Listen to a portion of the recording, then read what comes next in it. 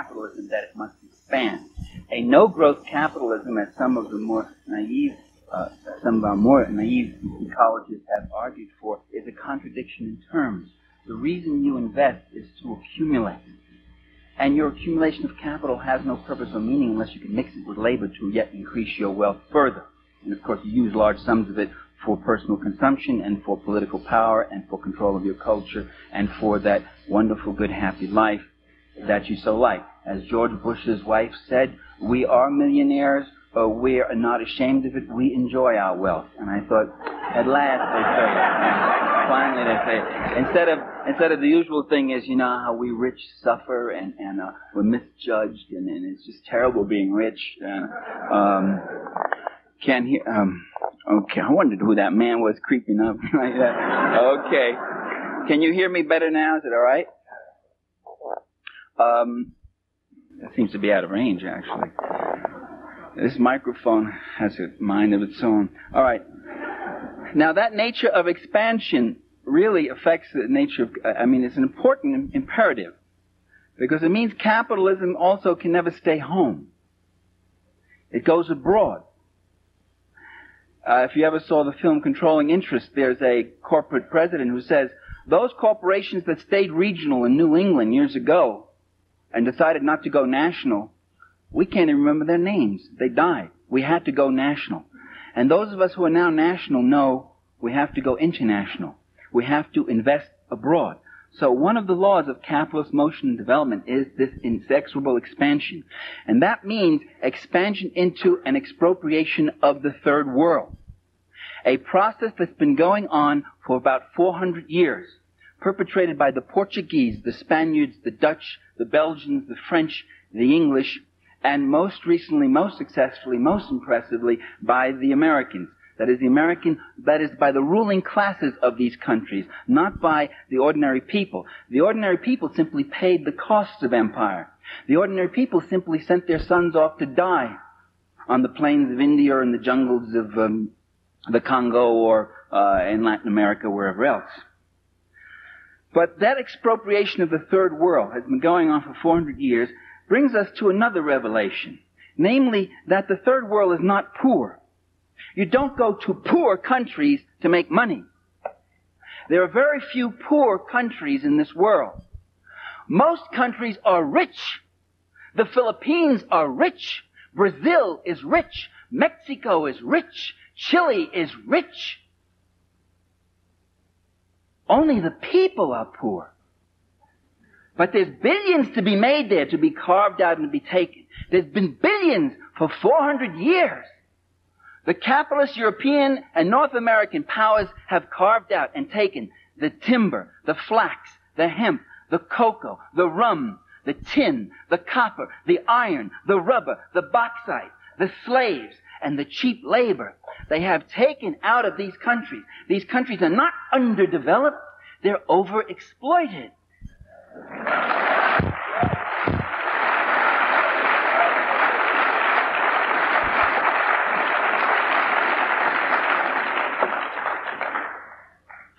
One of the countries that had a great deal of Western capital in it was Tsarist Russia.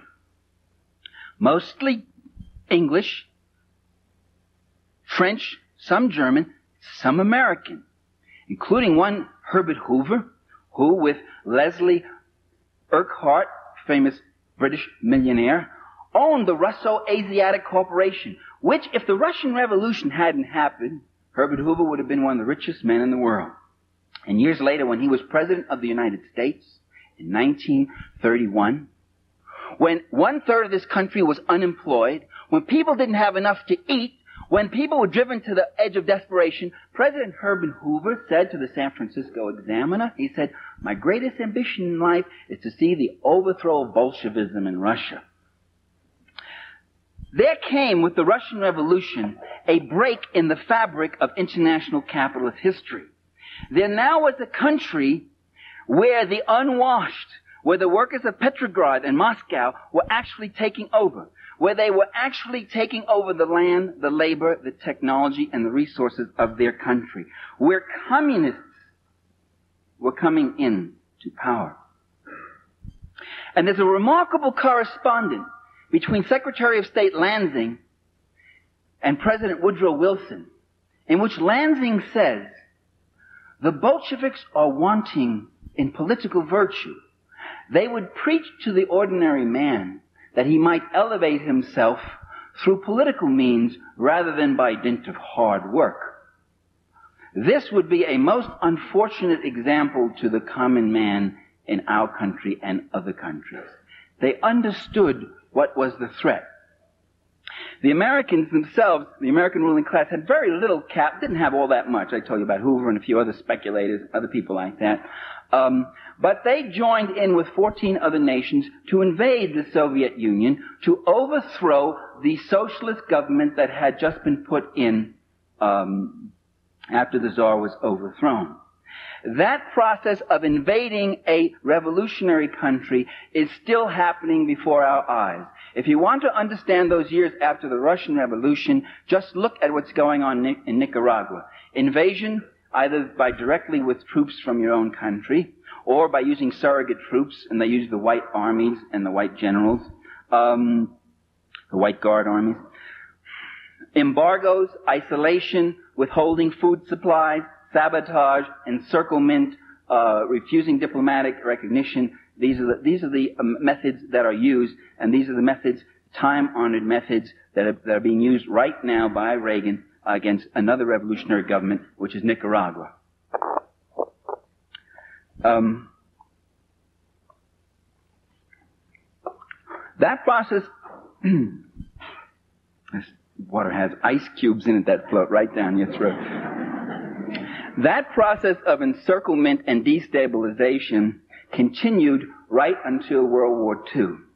On the eve of World War II, foreign minister of the Soviet Union named Litvinov, Litvinov, Litvinov went to, did I pronounce his name correctly? No, I can't say it that way.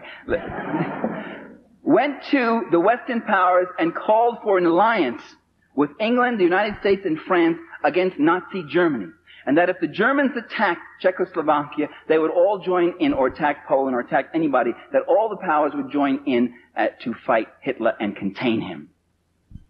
The Western Allies refused those overtures from the Soviet Union. Not because they were appeasers, not because they were simple and naive, quite the contrary, because they had a plan of their own, and that plan was Munich. And the plan was we give Hitler Czechoslovakia and he goes east. And they were waiting for a war. And that war was supposed to come. And it was going to be Nazi Germany finishing off Bolshevik Russia. Just as they had sent armies in against Russia just a few years less than a decade before, so they now plan to do the same. And so they've done again and again. And that war was fought, fought, and most of it was fought on the Eastern Front.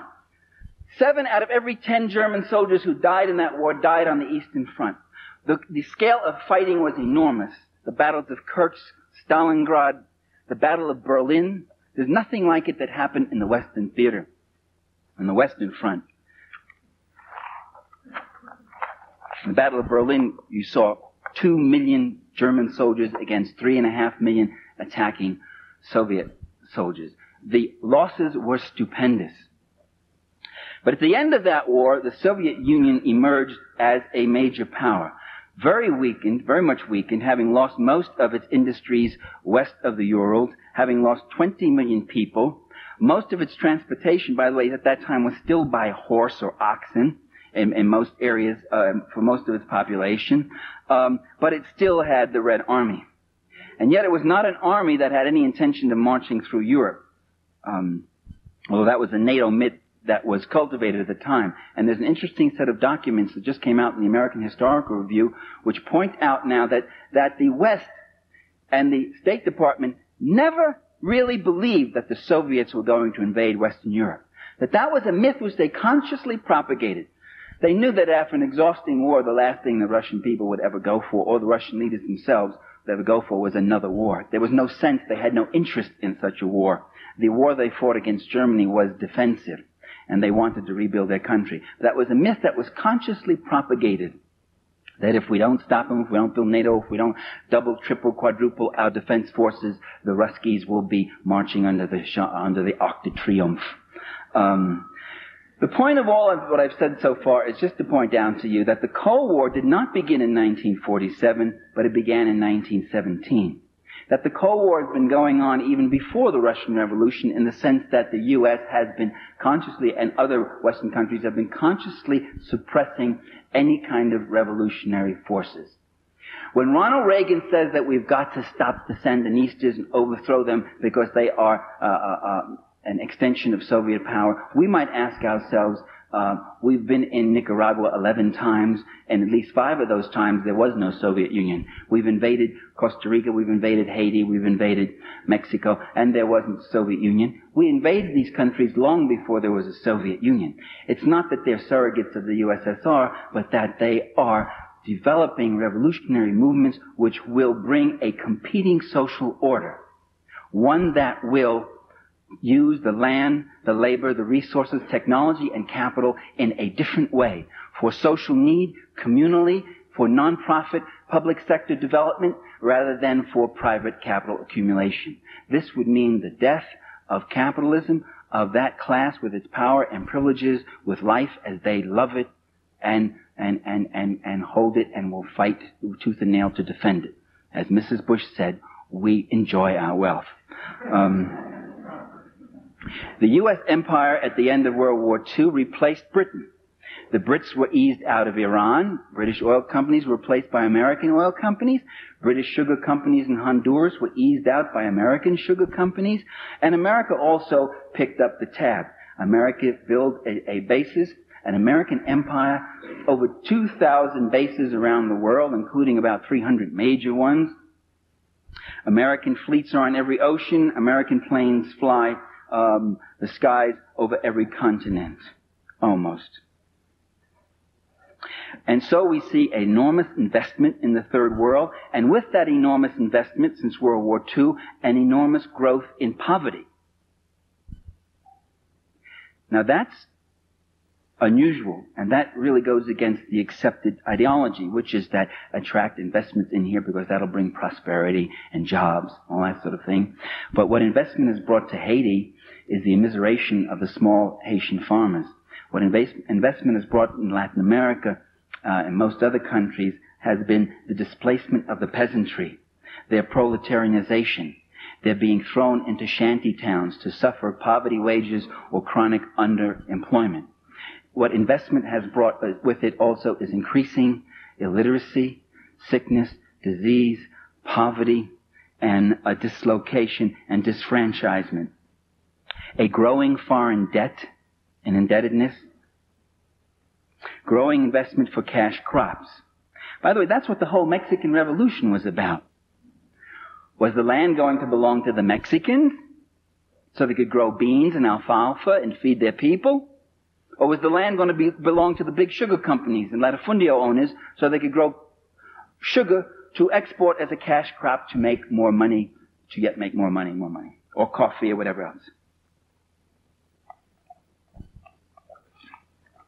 And with that growth, with that investment comes a dislocation in the structure of the third world country. So that, um, so that the whole infrastructure of it gets built around capitalist extraction, capital extraction. The economist Ray Brown, when he went to Cuba before the revolution, it was in 1958, he was there about a year or so before, was impressed by how every major road he saw went from a sugar plantation to a refinery to the seaport. While there were whole communities without roads that couldn't get to doctors, that couldn't have schools, couldn't see a priest, the sugar companies had their roads. And when you send foreign aid to those countries, nine out of ten of those dollars goes to build the infrastructure to subsidize the capital investment of the private corporations or to pay for the police and the army of that country not to defend it from foreign invasion, because Uruguay is not going to invade Bolivia. Because Taiwan isn't going to be invaded by the Philippines. But they need those big armies to, to defend their rulers from their own people. Because those people are in such a state of miseration. So that's where our foreign aid goes. And as someone once said, foreign aid is when the poor people, that's us, of a rich country, give money to the rich people of a poor country.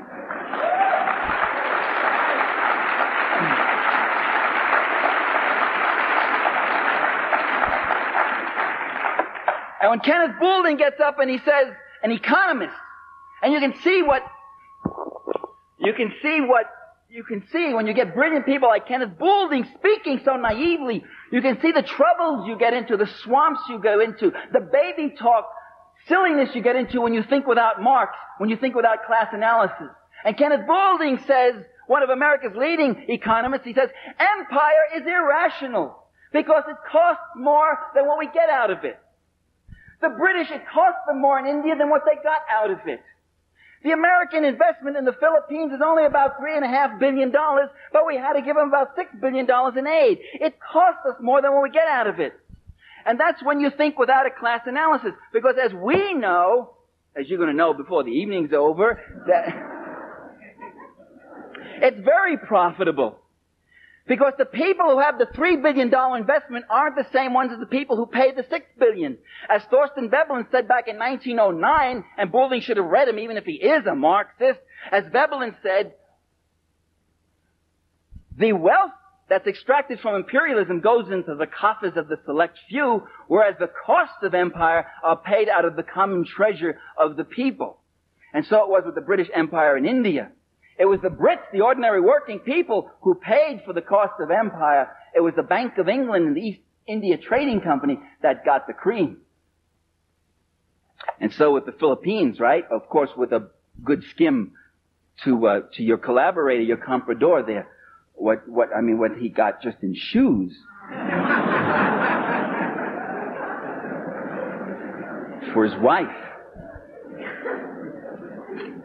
God knows his shoes his girlfriends. Okay. Another resource in the third world that attracts capital investment.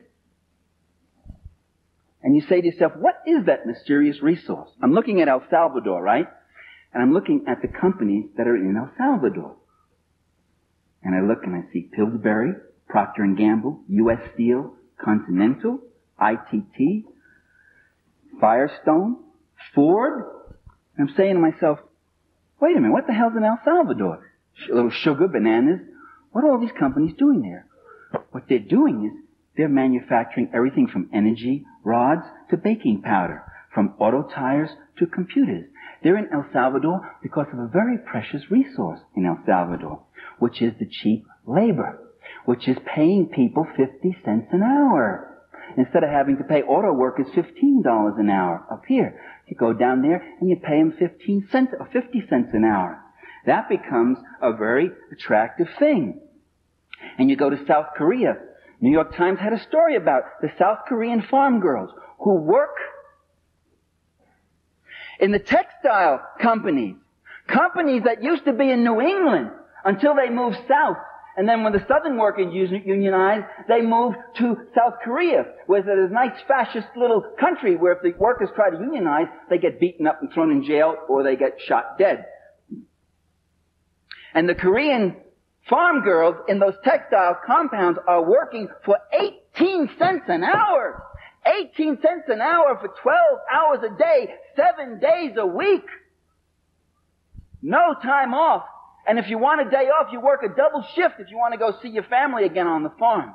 And they live in compounds.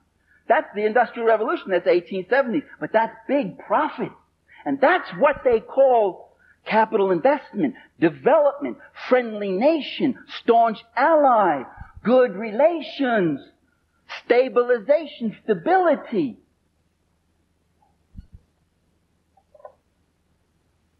And General Motors, when they tell you, ladies and gentlemen, that they've got to pave over Detroit and they've got to close down factories because the cars aren't selling as well as they should, what they don't tell you is that in the last 10 years, General Motors has opened up a dozen new factories in other countries for the reasons I've just talked about. So here's another resource. This, in fact, is the key resource, the resource which is the source of wealth, along with natural resources, which is labor.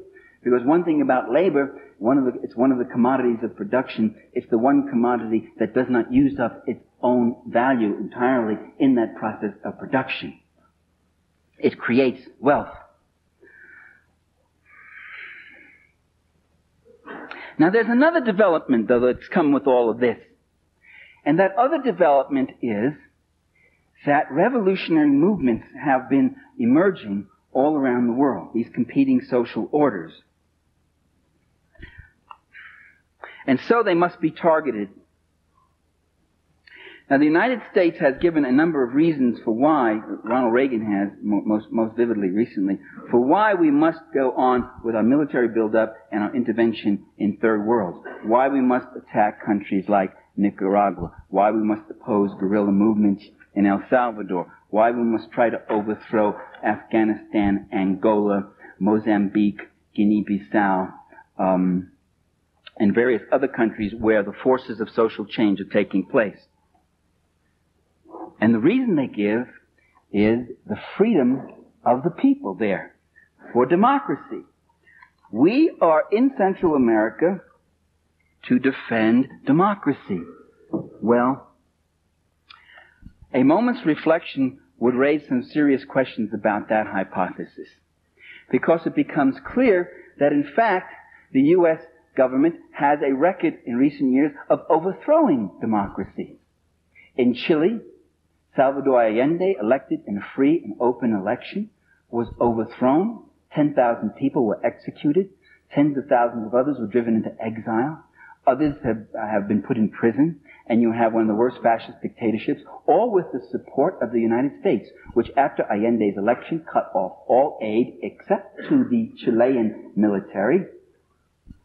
In Guatemala in 1954, Arbenz, the Arbenz government was instituted, and Arbenz legalized all student uh, uh, organizations. Students were very powerful. The first democratically elected governor, uh, uh, uh president uh, of Guatemala. Arbenz um, legalized trade unions, opposition newspapers, and then he started doing some very dangerous things. He began to nationalize the unused land of United Fruit Company. And that's when U.S. corporations and the CIA went in and overthrew Arbenz. And that's a matter of public record, by the way. The CIA, the Eisenhower administration, admits that. Eisenhower proudly boasted of how the CIA overthrew Arbenz because he was a, a serious leftist influence. And so with Mossadegh in Iran, so with Goulart in Brazil, so with Bosch in the Dominican Republic, so with um, a variety of other uh, democratic leaders, at least six or seven in Latin America, who were overthrown, generals brought in um, with the aid and assistance of the U.S. government. So it can't be that we're there to foster democracy. We seem to also make war against democracies. And in addition, we support some of the worst dictators. If Reagan is really against tyranny, if he really hates tyranny, why doesn't he send freedom fighters in to Paraguay or Chile or South Africa? Why doesn't he start sabotaging there, putting squeeze on them? Um, in fact, the whole fight with Libya might be less of a mystery if you understand that really the worst thing about uh, uh, uh, Colonel Gaddafi, who is a kind of a strange guy in some ways. Um, but not as strange as the media has made him out. He has called, you know, and you don't know this, most of you who laugh, he has called repeatedly for negotiations between him and Reagan, for peaceful negotiations, for, for peaceful settlement of all disputes, and the Reagan administration has repeatedly rebuffed those overtures. That isn't put in the press. I'm not blaming you for not knowing it. You're not going to read it in that rag that I saw out there, that Colorado thing that said, uh, terrorist targets hit in, in Libya. Um, he has done that, and he's done some other things which make him really dangerous. It's not the terrorism. It's not the attack on, on the Vienna and Berlin airports, for which they have no proof that Libya was involved, and which they have proof that the terrorists came out of Syria. The troublesome thing about Gaddafi is that when he took over in 1969, he took over a country that was like Saudi Arabia, a country of mass misery, a lot of rich oil that went into the pockets of a few rich. And when his colonel's revolution took over, they got rid of the rich. They took all their extra houses and gave them to the poor. They put out a land reform program. They put out a public free school program. They started a national health medical program, something that we Americans still don't have. The Libyans have it. He planted 40 million trees and started massive irrigation and ecological reclamation. These are some of the things that Gaddafi did, and that's a dangerous example to the Arab world. He took, he took a bigger chunk of the oil revenues and reinvested them into the needs of his own people. And the, and the per capita earnings of the Libyan people are the highest in the Arab world, the highest in the third world. You didn't hear that in the media, did you? You didn't hear that on Dan Rather's tonight. That's what's dangerous about Gaddafi.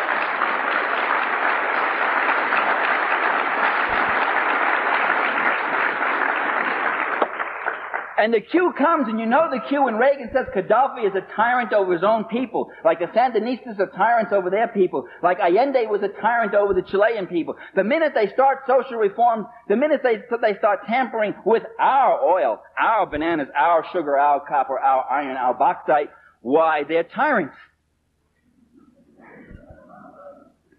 The second myth that's given to us is that these revolutionary governments are hostile to us. And that's why we oppose them. Right-wing dictatorships get along with us. They're friendly to us.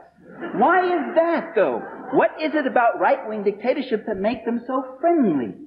What are they being so friendly about? What is the community of interest that they have? I'd already explained it, I believe. It's a common class interest. And the left-wing guys come in, but they're hostile to us. Well, that doesn't really seem to be true though. The first thing these left-wing governments do when they come into power is ask for friendly diplomatic and economic relations with the U.S. Certainly that's what the Sandinistas did. They honored the debt that that, that, that swindler Somoza ran up, and they, and they asked for closer economic relations. That's what the Cubans want. Every socialist country, from a huge power like the Soviet Union, to a small power like Vietnam or Cuba, to a mini micro power like Grenada under the New Jewel movement, every single one of them asked for more trade, normal political, economic, and diplomatic relations with the United States. Not necessarily out of love, but because they saw it in their self-interest. Because their interest was to develop their own economies and to have peace and security on their borders, to invest less in military defense. There was even an article on that in the New York Times in which Fidel Castro makes that point. We want to spend less on our military defense. It doesn't make sense to the Cubans.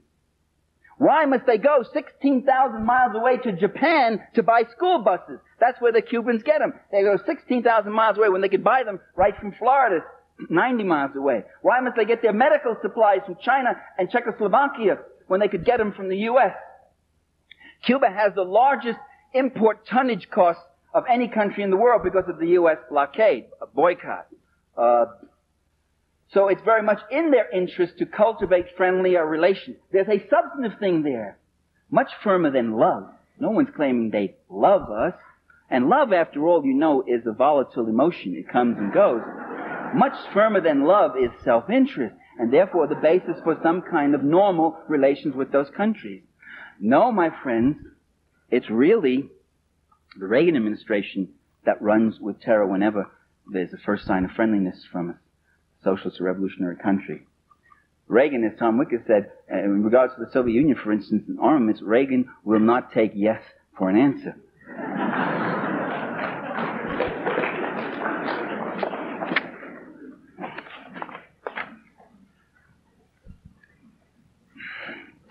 the final reason given is that we must contain the red tide. You heard that March speech by Ronald Reagan, vintage stuff, where he talked about a red tide lapping our border if we allowed Nicaragua to sustain the kind of government that its people have chosen in free and open elections.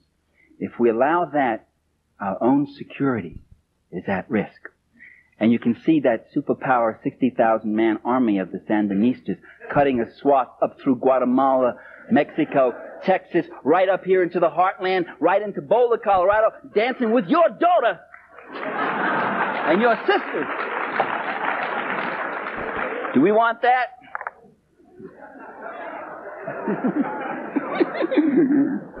I hear they're good dances.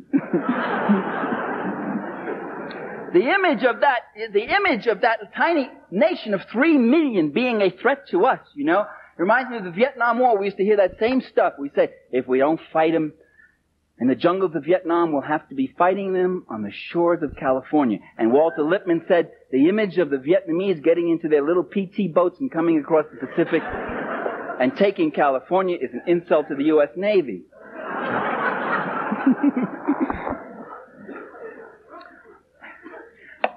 it's very hard to convince the American people that they should send their sons, maybe who knows someday even their daughters, to go fight and die in some jungle to make the world safe for United Fruit Company or Chase Manhattan or Procter & Gamble or ITT. So you say it's to stop the threat of that communist country. It's very hard to convince the American people that a tiny country like Nicaragua or Vietnam or El Salvador is a threat to U.S. security. So you say it's not Nicaragua. They are the puppets of the Cubans, who are the puppets of bum bum bum bum. the big red bear in the Kremlin.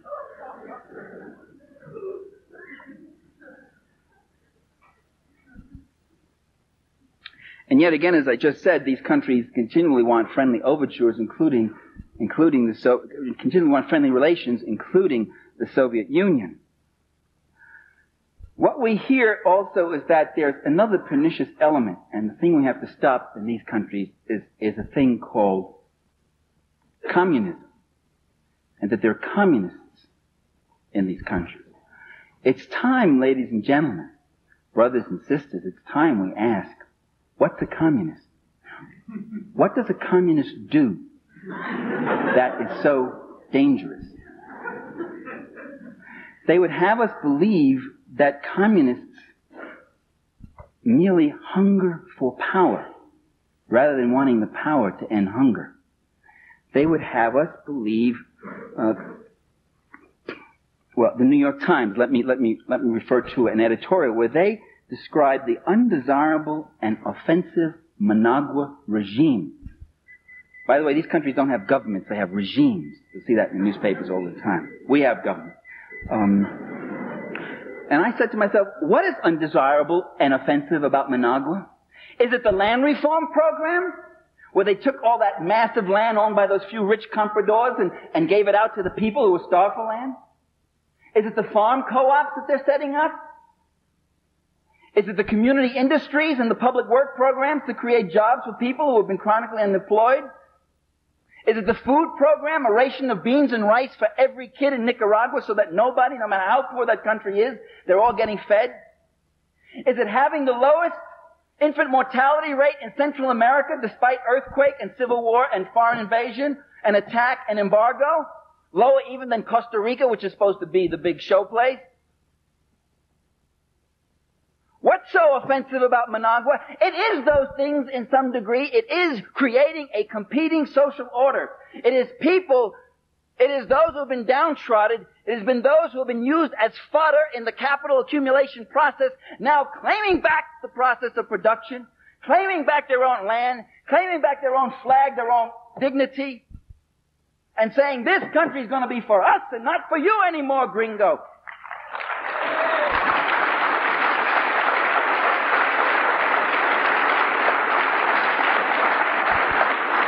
And that's the communist program, and that's what communists are. I had somebody up in Vermont say, she got up and she was one of those trust funders who works on peace a lot, and she said, Oh, sorry there. she said, um, People are saying that the Salvadoran guerrillas are communists, but they're not communists. They're just ordinary peasants. So why are we fighting them? The implication being that if they were communists, it would be okay to go in and pulverize them. and I pointed out that, well, look, at least in the FLN and the front, there's at least two of those five groups, at least two. I, am not sure about all of them. but at least two of them that would not deny the label communist. They would say, "Yo soy comunista," you know. Uh, they'd say it, um, and they would say it proudly. And what does it mean to be a communist? It means to fight and devote yourself to the people. If communists, if we leftists, if we Marxists, if we revolutionaries, if we progressives, if we all we want is to hunger for power, then why do we side with the powerless? Then why don't we toady up to power? Why don't we take the road of the Henry Kissingers and the Patrick, Daniel Patrick Moynihans and the Ziggy Brzezinskis and the Eugene Rostows and the McGeorge Bundys who toady up and mouthed for power. When Henry Kissinger was made National Security Advisor for Richard Nixon, Nelson Rockefeller gave him 50,000 bucks as a going away present. as Nelson Rockefeller testified himself before the Senate committee when he was being appointed Vice President of the United States. And they asked, and the senators, well, they really went at Rockefeller really hard. They said, um, uh, why, why'd you do that, uh, Mr. Rockefeller? And Rockefeller said, well, giving's always been a tradition in our family. Giving. They cast their bread upon the waters and more and more came back, didn't it? He was saying to Henry Kissinger, Henry, I brought you out of Harvard. I brought you out of that Center for, or whatever that was, strategic studies, because uh, I liked the books you were writing and you were writing them for me. Henry, you remember you're going to go work for Tricky Dick, but you remember who you belong to. And that's what, that's what hungering for power is. It's climbing, like the political climbers and careers have done in every country in the world. And we on the left don't do that. We stand out in the rain. We stand out on the picket lines. We put our jobs on the line. We risk our careers.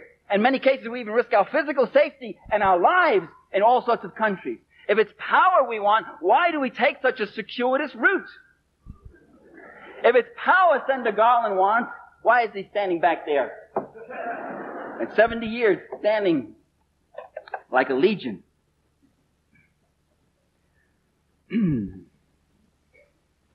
well, these communists do do all these reform things, yes. And liberal columnist Richard Cohen in the Washington Post says, uh, and I think I've heard it about 800 times from different people, we ought to copy what the communists do. Why are we always on the wrong side? Why do we go into these countries and find ourselves on the side of the big landowners, the sweatshop owners, the, the big corrupt generals who run little prostitution rackets on the side and all that stuff? Then why are we with that element? Why aren't we, why don't we capture the hearts and minds of the people the way the communists do? Why don't we copy their techniques? What are their techniques? Well, communist techniques are very well known. Just the things we just said. They go into the village. They do land reform. They try to bring clean drinking water. They pay for the food they take. They try to help the people organize themselves. That's what they do. But if we did those things, we not only would have stolen their program, we would have been, become them. Because that's what they were doing. That's the thing we're fighting to prevent. Not we. That's what our government and our ruling class is fighting to prevent. That's why we always go in on the wrong side, because the wrong side is the right side for the class interests of this administration and just, and every other administration that's occupied the White House. So it is the heart of U.S. policy, ladies and gentlemen, to use fascism to preserve capitalism while claiming to be saving democracy from communism. Now the Soviet Union is a serious problem for world capitalism. First, it's the strongest socialist country. As the strongest socialist country, it is a major target. Second, it has assisted other revolutionary movements, mostly just diplomatically, politically, morally, but also sometimes with material aid. Not much, but rather substantial aid in the case of Vietnam. So, one goal is to try to contain the Soviet Union. The dream is finally to roll back the events of 1917, to undo history, to bring back that time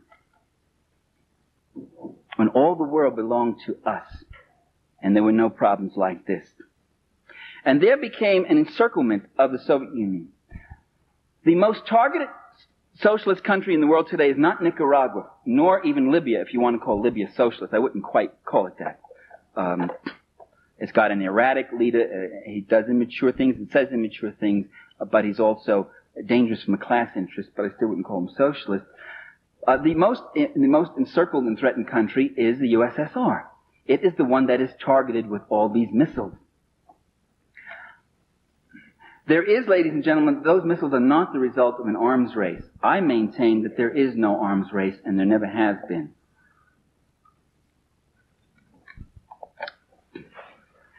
Uh, a race,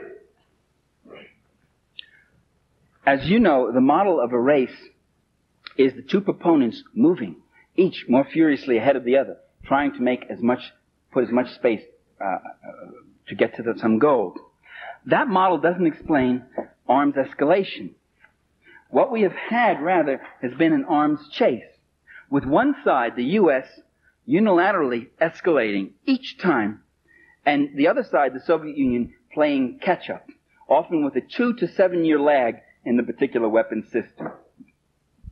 That was true of the A bomb, the hydrogen bomb, the long range bomber, submarine launched missiles, the MIRVs, the multiple warheads, the ICBMs, tactical nuclear weapons, solid fuel rockets, and now even today with the MX, the cruise, the Pershing, and the neutron bomb, the, the race model doesn't explain it. It's a chase. As the Soviets said just several years ago, don't build a neutron bomb. If you build it, then we will have to build it. Don't build the MX. If you do that, we will escalate on our ICBMs. That's hardly a race. That's more of a chase. The other side, asking that this escalation not take place, and then when the escalation does, it reluctantly moves on and and and um, and enters it also.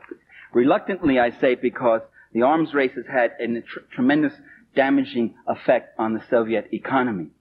Every time they have to build another tank, that's one less subway car for their subways. In the USSR, any city that reaches a million people gets a new subway built in it.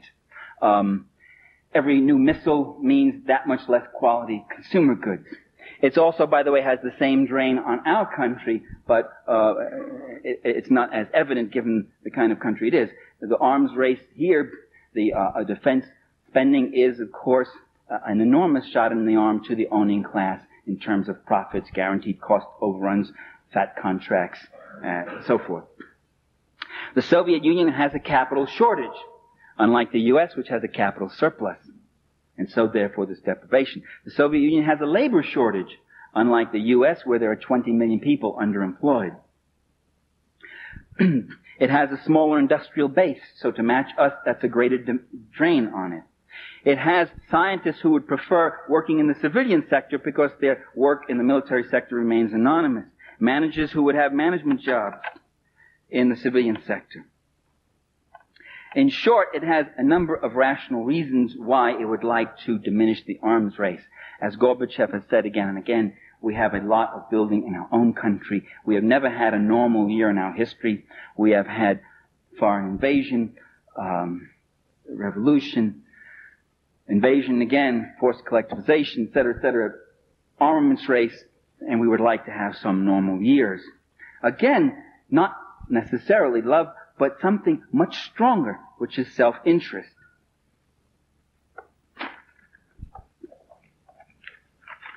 So I would argue that Soviet escalations have been mostly reactive and defensive to U.S. escalations. This is true also if you look at the Soviet Navy.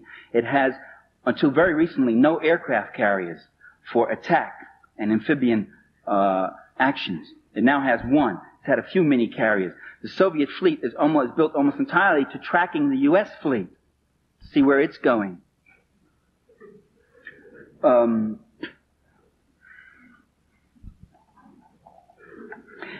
Soviet interest in disarmament is reflected in the proposals that they have made.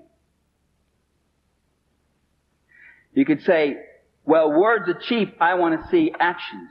First of all, words aren't cheap. Words count too. What a nation says is reflective of what it's doing.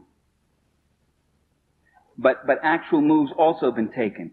For instance, one, the Soviets proposed the eventual disbanding of NATO and Warsaw Pact armies a proposal, gradual, mutual de-escalation, step by step on each side. One, two, one, two, that, now like that. The U.S. turned down that proposal, would not even study it. The Soviets proposed a, in the last four years, nuclear-free Europe, reducing their medium-range SS-20s and all those to match the 162 which France and Great Britain had. That was a proposal made three years ago. It's a proposal which Gorbachev has brought forth again. It's one which Reagan has ignored, but simply to quote for zero sum, uh, and without the two stip- reasonable stipulations which Moscow has asked for, namely that if we get rid of all our missiles both sides, uh, we also guaranteed that you don't transfer any of your existing missiles in Europe to the French or British, and the French and British begin to get rid of their missiles. Or at least at this stage, they freeze them. And in fact, the French and British now are increasing their number of intermediate range missiles. And remember, intermediate range missiles in the West, cruise and Pershing missiles in Western Europe are not intermediate range. They can reach Soviet soil, so they are strategic. They can hit Soviet ICBMs. Soviet SS-20s are nasty weapons indeed, but they cannot reach the United States. They cannot knock out any MXs or ICBMs. They are not first strike potentials. Another thing to remember, cruise and Pershing missiles that are now in Europe have a seven minute strike time. That's the end of deterrence. And this is why Gorbachev and the Russians are beside themselves about the cruise and Pershing. This is why they walked out of Geneva in 1983, because Reagan refused to negotiate on the cruise and Pershing. This allows Reagan to turn around and say, we went to Geneva, but they walked out, as he's going to do now uh, with this latest cancellation. So what you do is you shove a person away, you act hostile toward them, they get up and they say, well, you obviously don't want to negotiate, they walk out, and then you turn to people and say, you see, they don't want to reach an agreement. If it takes me a half hour to get my missiles over and kill you, and you a half hour to kill me, then in that half hour after I let mine go, you know they're coming. And you let yours go at me. That is a deterrence to me. However, if I can reduce the striking time to seven minutes, and and they're so low and fast, and your radar can only pick them up in the last two minutes, I now have a first strike capacity on you. You no longer have deterrence. I no longer can fear your missiles because my missiles are targeting yours. And I'll knock out all your missiles and then I'll have a second strike capacity to hit you. You'll have a feeble retaliatory strike. Your feeble retaliatory strike, however, will be blocked out by my Star Wars. Ah, is that what Star Wars is all about? Yes. You see, the criticisms about Star Wars are largely irrelevant in that area. People have said, scientists have said, it's a ridiculous project. It's going to have to work the first time and work perfectly. Only if the Soviets launch their 10,000 missiles at us in a fit of peeve one day, they say, let's destroy the world, and they send the missiles at us, only then will Star Wars have to work perfectly. But if the function of Star Wars is to be a shield against a feeble retaliatory strike of the Soviets after a first strike by the U.S., then Star Wars becomes much more effective. And Ronald Reagan himself let the cat out of the bag last year when he said, it doesn't have to work perfectly. And speaks and all, they've got him away from the platform and all that. because they explained it to him just that morning at breakfast. and it is,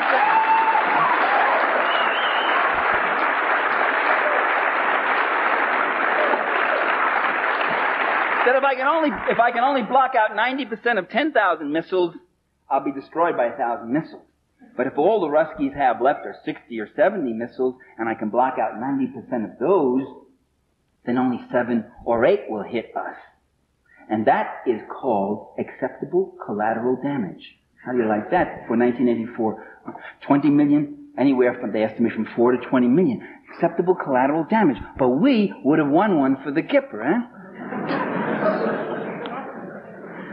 There are nuts in the Pentagon who think like this, ladies and gentlemen. They get big fat military pensions too, and they get big, big, big fat salaries, and they got big boards all lit up. They think like that all the time. But short of starting a nuclear war, the grand design is to have a first strike capacity that so puts the Soviets under the gun again that we'll, we'll be back to 1947. When we could brandish that weapon around and they would have to retreat. They would have to concede. They would have to pull back in fear. We'd be back to 1962, uh, the Cuban Missile Crisis, when Kennedy sat there and thought of a strike against the Soviet Union. And they realized that Khrushchev really had only one, possibly two ICBMs that could reach the U.S., and it would only reach the northeast corner of the U.S. But they, but they estimated that this might cause a million, two million casualties, and that would be politically unacceptable. And so they discarded any idea of a nuclear strike against the Soviets. That one missile may have saved our lives. So it's not true that the missiles just build up blindly on both sides. They're caught in this irrational race. That it's just something in, in man's nature for war. I loved those songs, but there was something about the politics in one of them that didn't ring right with me. That it's just people caught up in this meanness and killing for killing and, the, and why, when are we going to reach our senses? That's not true. That's not the way it works. It's not something that comes in here. If it was something in our nature, why would they have to draft us? Why would they have to use press gangs and, and drag us in?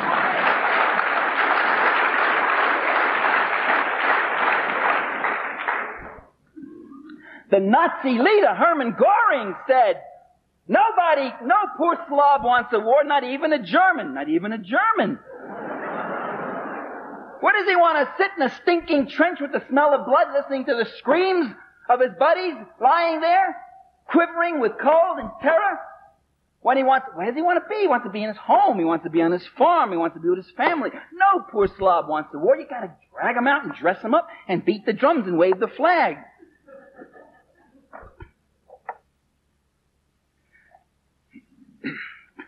Within the last four years, the Soviets called for the banning of weapons in outer space before the United Nations, a resolution that was voted 124 to 1. Who was the one? Not the U.S. Ronald Reagan. It wasn't, it wasn't the American people, right? It was, it was that coterie that is misrepresenting us. All the opinion polls show that the American people didn't want uh, weapons into outer space, at least back in those days before the Star Wars promo. 200, 124 to 1 with one abstention. Do you know who the abstention was? No, no, it wasn't Israel. It was, uh, it was uh, Margaret Thatcher, who, as we all know, is Ronald Reagan in drag.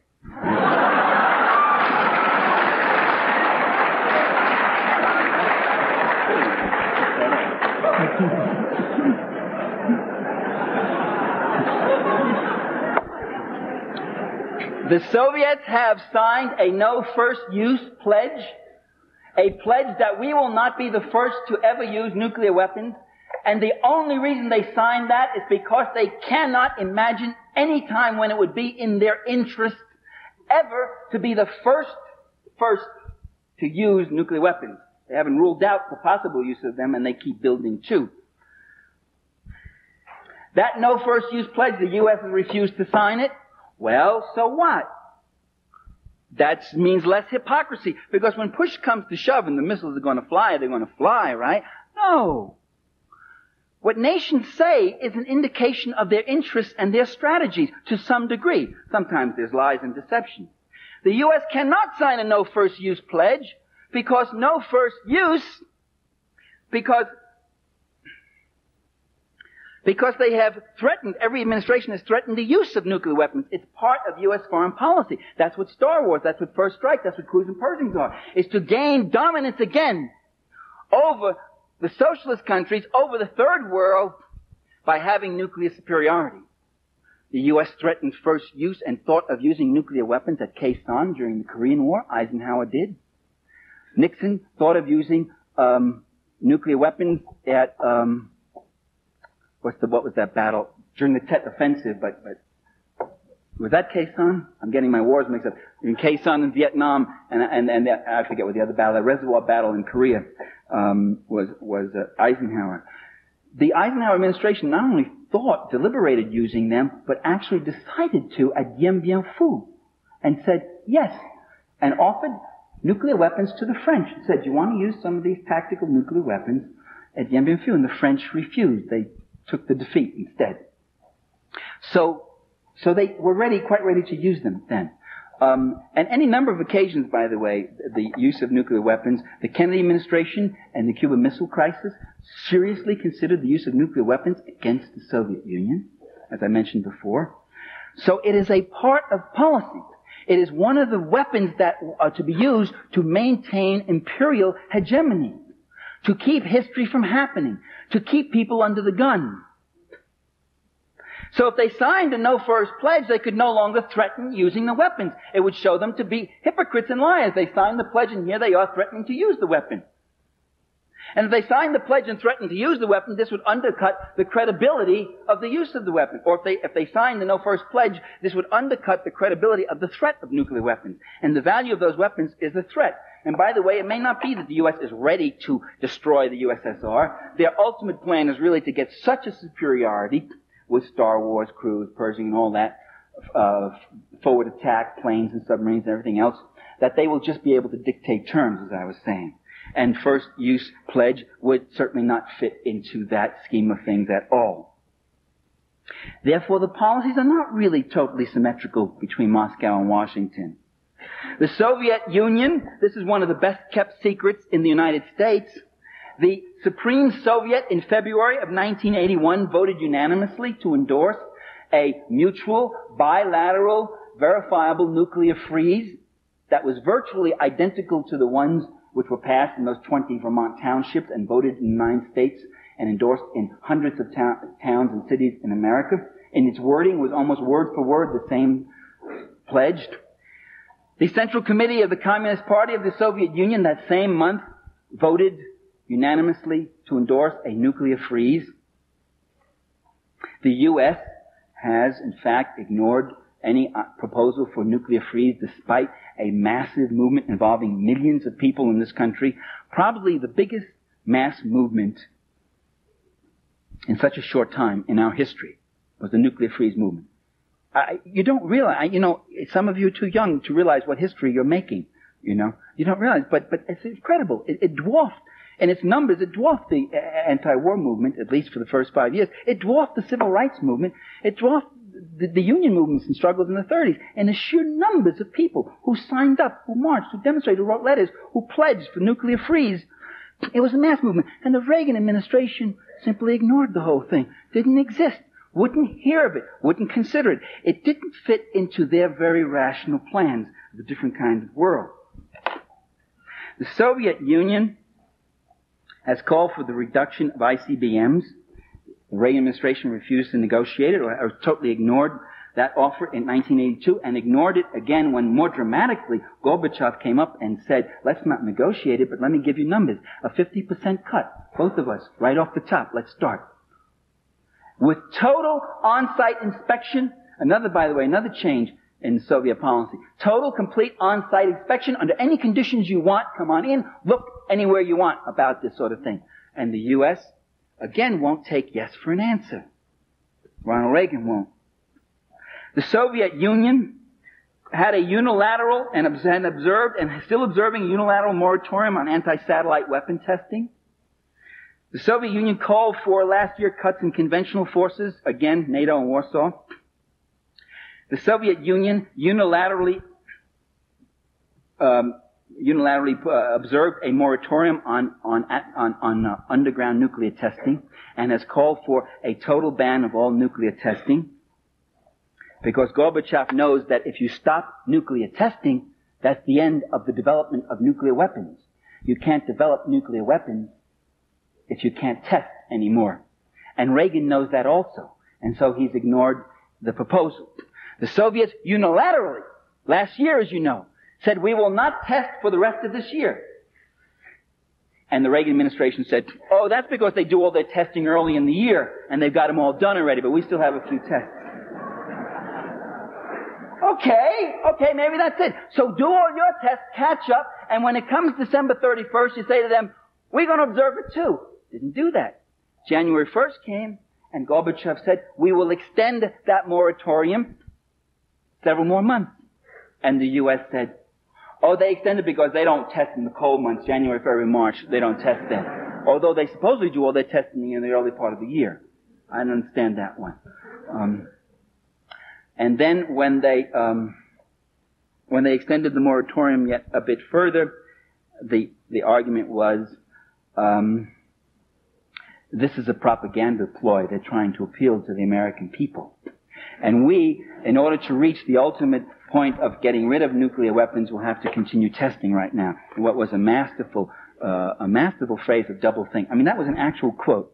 I wish I had it. I, I couldn't find it in my materials on the plane. Um, what I'm arguing here, ladies and gentlemen, is that um, U.S. foreign policy is not foolish. It's not stupid. It's quite rational. When someone says, what are we doing? We're opposing guerrillas in El Salvador and we're supporting guerrillas in Nicaragua. That's quite rational. Because the guerrillas in El Salvador want to change the social order, and the so-called guerrillas, they're not guerrillas, they don't live with the people and build their base in the country. The mercenaries and contras uh, of, uh, who are attacking Nicaragua want to bring back the old order. There's a very rational system. They're not foolish. They're not confused. They know what they're doing. It is to defend the class order, to make the world safe for hypocrisy.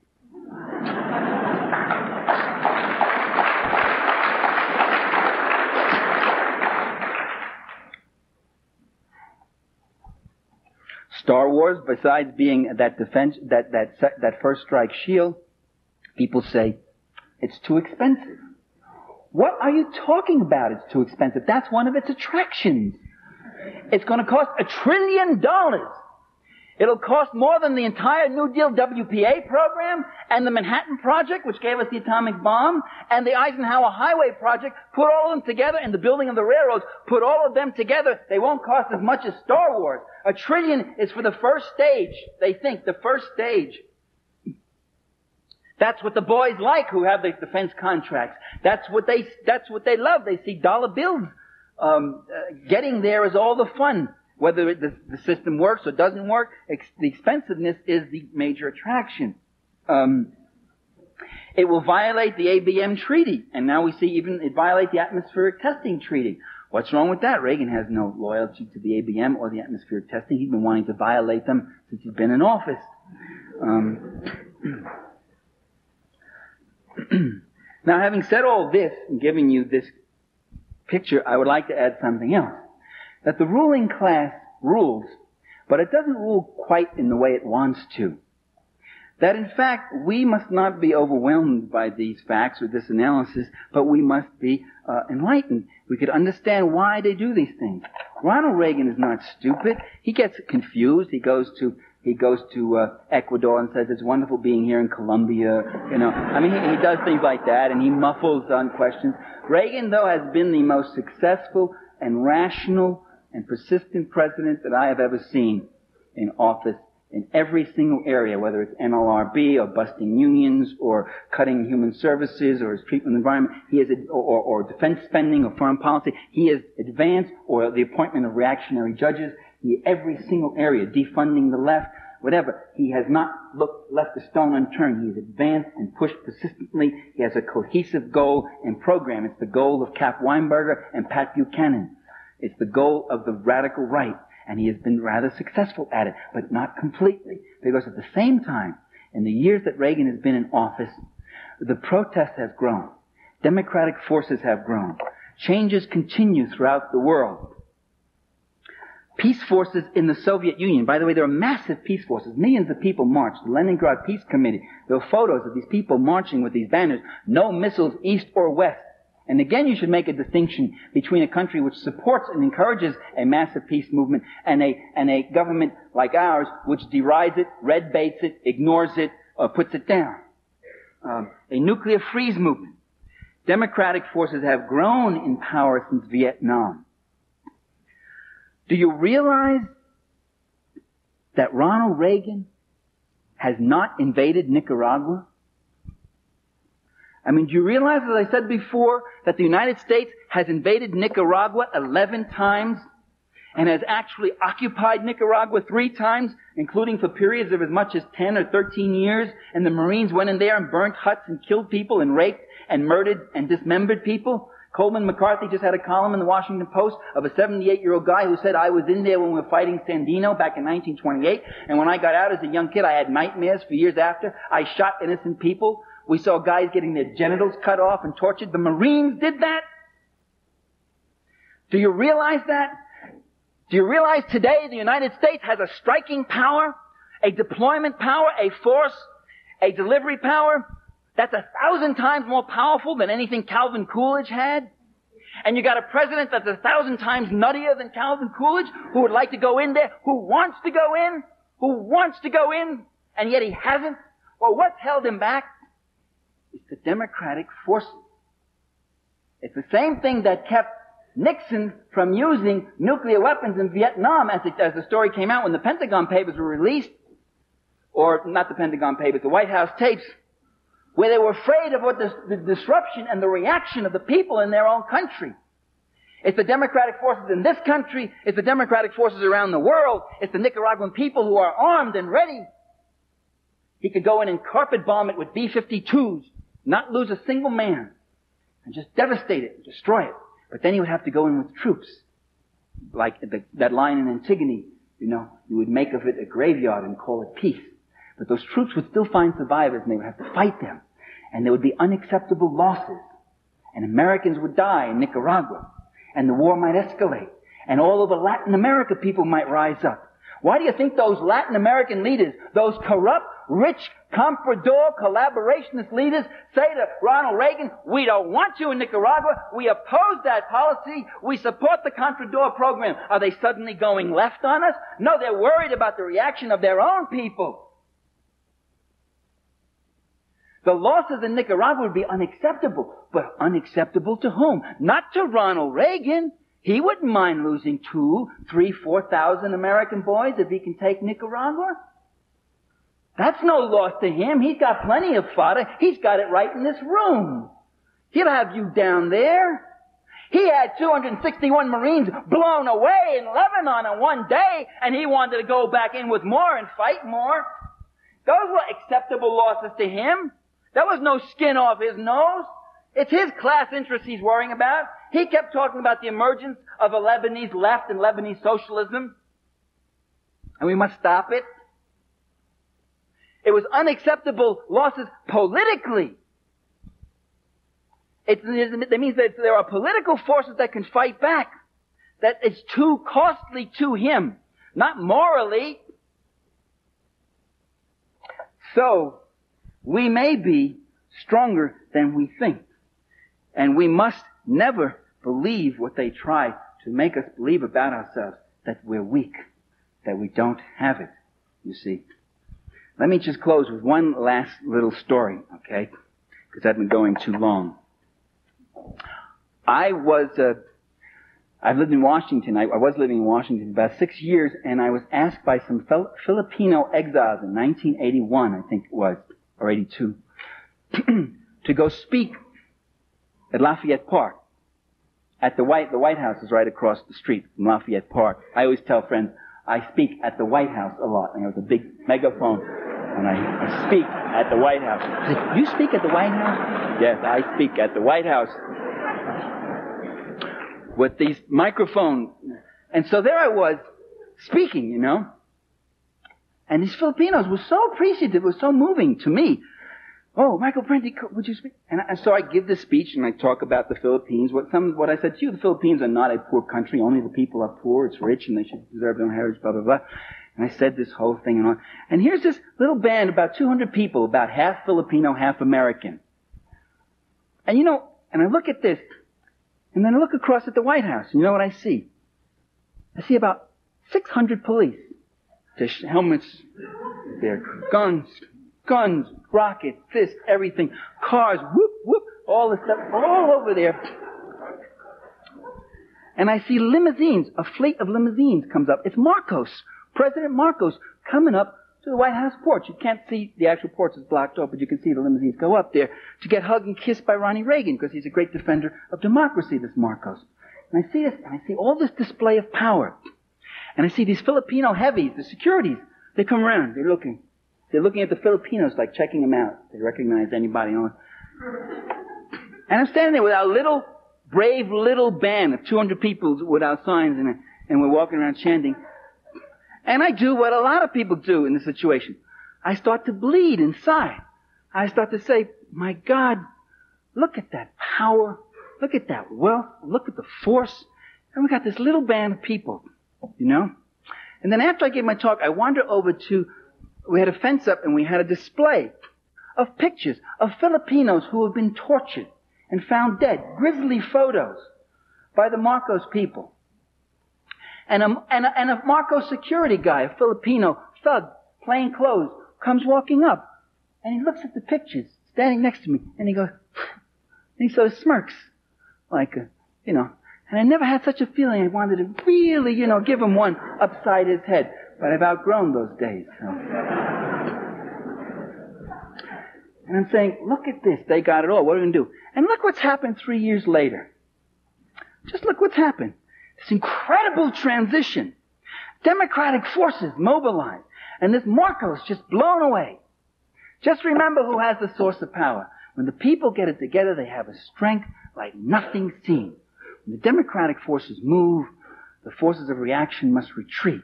And these great generals and dictators and presidentes who sit there in their big palaces with their boodle and their corruption and their bayonets and their guns and their spies everywhere, they get thrown off just as a stallion would thrown off a little fly. So we speak truth to power. Just remember that.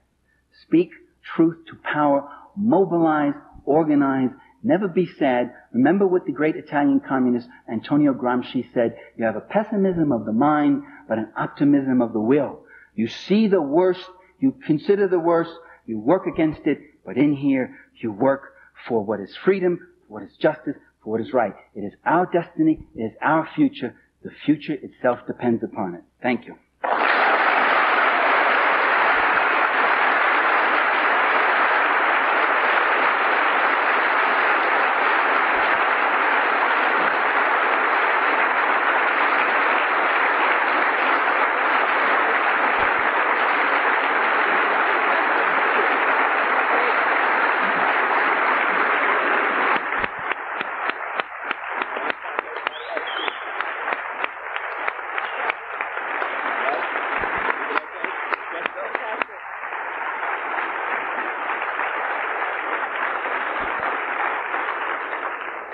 If you wish to uh, ask Professor Parenti some questions, please come to the microphone. There are two microphones out here on the floor, and he'll be happy to take questions.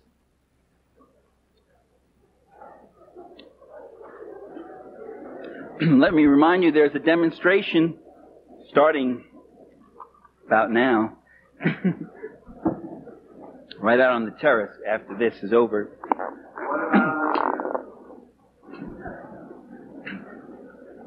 I thought I talked about Libya already. Gave you my analysis. Do you mean the recent events or the terror attacks? I, I don't know what the question was.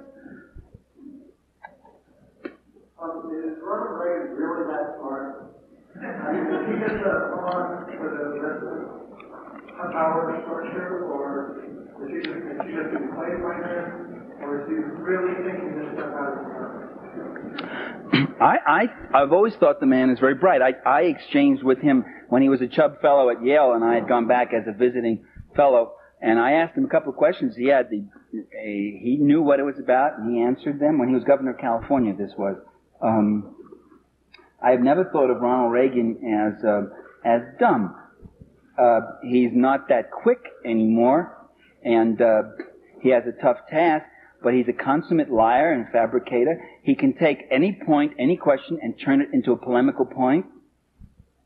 Um, he has he has real political instincts. He's a real political animal, the way Jimmy Carter wasn't. Um, for instance, when the astronauts, when the shuttle blows up, he comes on, he makes a speech, and he turns that disaster into a price paid for glory. This sacrifice cannot be in vain. We must go on, and we will get to the truth. And our system, things are in the open. Then he reports, he, he appoints William Rogers, who's in, who's in bed with the space industry, to, to, to uh, start this commission investigation, um, and do a miserable little job, almost, almost a cover up, except, except people kept leaking things to the press, so the commission had to go then and ask these questions. Um, I mean, that's an example of it. I think he's, he's, he's very, he's a very effective spokesman for his class and very effective leader for his class. If you don't think so, tell me why not. The biggest thing he's done is is is, is uh, cut inflation, as I said on radio earlier today. And inflation is the great terror of most Americans. How do you maintain yourself? How do you save a little? How do you get ahead? How do I survive my old age? And um, once you cut inflation, people feel a, a hell of a lot better at the price of employment, at the price of the poor, but the poor are a minority, and they'll suffer more, but uh, everybody else was voting their pocketbook. In this country, when survival is so tough and so competitive, people voted their pocketbook. Even many of those who opposed him on most issues, they voted for him because they saw his alternative as being ineffective and being a big spender. Reagan has been the biggest spender since, uh, of anybody in the White House. He's increased the debt by 1.8 trillion. It's really more. Uh, uh, I'm sorry. He's doubled the debt. It's all, triple. It'll be tripled by the time he gets out. He's the worst deficit spender in the world. But but people are getting a little ahead of themselves. And when he said to them in 1984, he said, "Are you better off now than you were in 81?" And it's true. In 81, Jimmy Carter was president, and you had a 12.5, 13 percent inflation, and that terrorizes people who don't want to spend their old age in a furnished room, who want to think they're going to be able to have a standard of living that uh, that's somewhat decent. I mean, the system plays on the very, ins- it takes advantage of the very insecurities that it creates. uh, this stuff about he's a magic leader and he's all his personality, Teflon, and all that, that's not true. In 1982, when unemployment was increasing and inflation was high, uh, nobody wanted his endorsement in the 82 congressional elections. His name was Mud. It was only when the economy got a little better, and it got better because he got lucky with oil prices, got all these cheap imports from the third world, and, and he's cut the buying power of the working class and deflated prices in that way. Um, I guess. I mean, nobody knows too much about. Uh, we don't. We we keep con- conjecturing about what causes inflation, what doesn't, and so forth. But in any case, that I think is the, is the answer to Reagan's magical appeal. If this economy takes a plunge, you'll see you'll you'll see people uh, you know react in a different way. The economy comes first because that's the first condition of life and survival. Issues like the deficit or El Salvador are secondary, although there are surprisingly large constituencies around those issues. I, I you talk about communism and I would like to ask a question which stems from my you're saying the last few years, East German citizens are, cannot travel outside of East Germany and East Germany is generally considered a communist country or allied. So I'm curious to ask, do you, do you think that if East Germany is a communist country, uh, does this restriction on travel in any way, Well, during World War II, most of the destruction by Allied bombing was in East Germany. So after the war, East Germany was vastly more impoverished than West Germany. One. Two, it was Prussia. It had a large Nazi contingency or sympathy. A lot of those people wanted to come west. Three, the Russians at that time, the Soviets made a mistake of taking machinery and stuff out. They, they, they actually began to extract capital from East Germany, which they only did for a short while. The Poznan riots turned them around, and, they, and they've since then been putting in or giving the East Germans more favorable uh, trade relations. For the U.S., pumped in billions of dollars in the Marshall Plan to West Germany. There was a boom in West Germany, production and such. So many people wanted to leave East Germany for West Germany, for the goodies, for the jobs. And there was a vast number who left. The East Germans stopped it for the same reason that about a hundred other countries would like to stop it. Drain brain. Uh, brain drain. They just lose, you bleed, the country begins to hemorrhage. The other thing that happens with any kind of migration is once a substantial pe- number of people go, that itself becomes the momentum. Others are attracted, family, friends, relatives. Once they come, they have friends and family or kin or spouses, and they too want to come. And so this is why they stopped it, because they wanted to develop their own, their own country. Whether that's justified or not is another whole question. I'm giving you the reason why the Berlin Wall was built. By the way, there were some, it's about, there's, there are a few hundreds, New York Review Book had an article uh, some years ago. Uh, there are a few hundreds every year who go back from West Germany to East Germany. And they were interviewed and some of them said, well, in West Germany I had a bigger apartment, I had this and that and the other thing, but uh, that was it. I had nothing to live for. Everything was, I was isolated. I just had my career and me, me, me. I didn't feel part of the community in in the GDR, I feel like I'm working for part of the community. By the way, now in the GDR, the level of prosperity is very high. It's probably the most prosperous socialist country, maybe more so than Hungary too. If there are no more questions, there is, this light is right. Is the filming is the filming still going on? Oh, oh okay. This light is right in. Light in. This audience wanted to get a better understanding of, say, your vision of a better America. How useful would it be for this audience to look at the Soviet Union today? In other words, how exact of a model is the Soviet Union for America? Well, the Soviet Union couldn't be an exact model for us. It has a whole different tradition, history. It's had a very unluxurious history. It's had a very difficult, terrible, horrendous history. Uh, so we couldn't use it as a model. Um, we have a different level of prosperity. What I would say is this. You could look at any existing socialist country, if you don't want to call them socialist, call them whatever you want. Post-capitalist, whatever. I, I don't care. Call it, call them camels, uh, window shades. Doesn't matter. As long as we know the countries we're talking about, you can look at any one of those countries and you can evaluate them in several ways. One, comparing them to what they had before. And that to me is what's very compelling. That's what's so compelling about Cuba, for instance. When I was in Cuba, I was up in the Escambray, which is like the Appalachia of Cuba, very rugged mountains, people very poor if they were. And I said to this campesino, I said, do you like Fidel? And he said, see, si, see, with all our soul. Just, I remember his gesture, with all our soul. I said, why? And he pointed to this clinic right up there on the hill, which he, we had visited. He said, look at that. He said, before the revolution, we never saw a doctor. If someone was seriously ill, it would take 20 people to carry that person, because you'd go day and night. It would take two days to get to the hospital.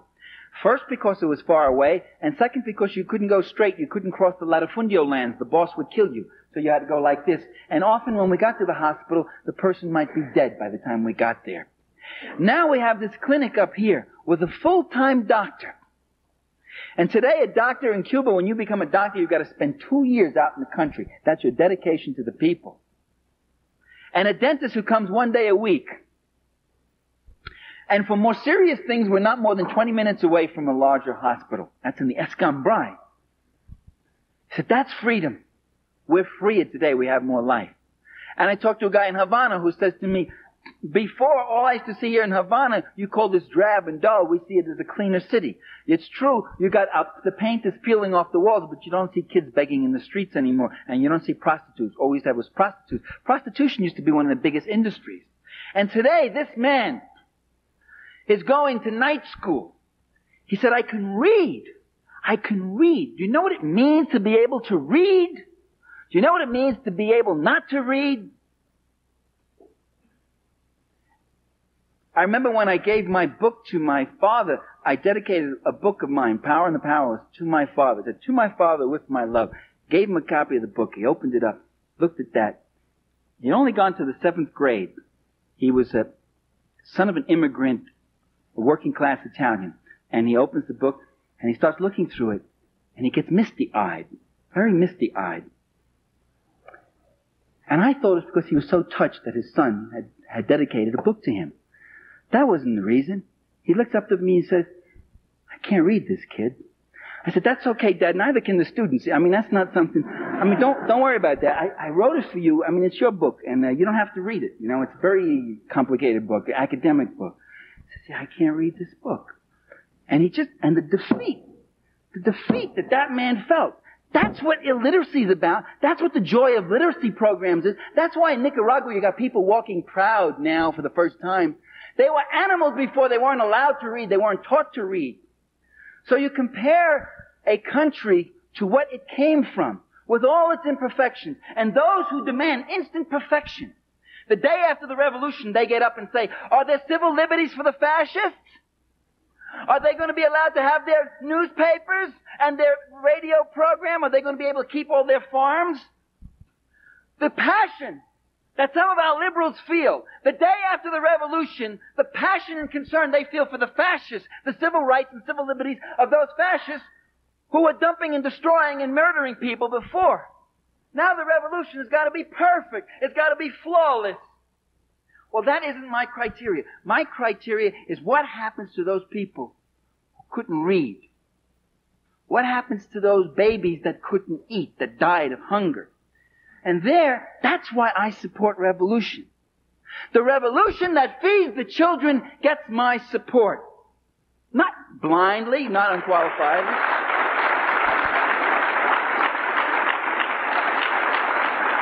And the Reaganite government that tries to stop that kind of process, that tries to keep those people in poverty and illiteracy and hunger, that gets my undiluted animosity and opposition. So that's would be that that was my answer to you. Let's not judge these countries by what by some abstract model, but where they're coming from. So you can judge a socialist country one by what it's replacing. Two, you can judge it by comparing it to U.S. society. And there, in some areas, you know, there's more higher level of production of goods and prosperity here, although it's very unequally uh, distributed. The poor are the fastest so fastest growing social group in America, from 24 to 35 million. That's growth since 80, 1980. Um, and three, you can you can judge a socialist country by an abstract model of what you might ultimately want. By the way, that's not that's not illegitimate. I shouldn't have said don't uh, impose that. That's that's a, that's a reasonable thing to do in a certain way.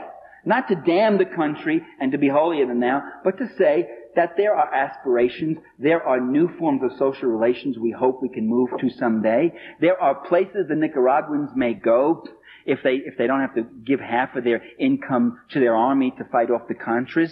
There's new improvements, new cultural forms, uh, new political forms that might develop. In fact, it's fascinating in Nicaragua that there are those new political forms. So I would judge that way.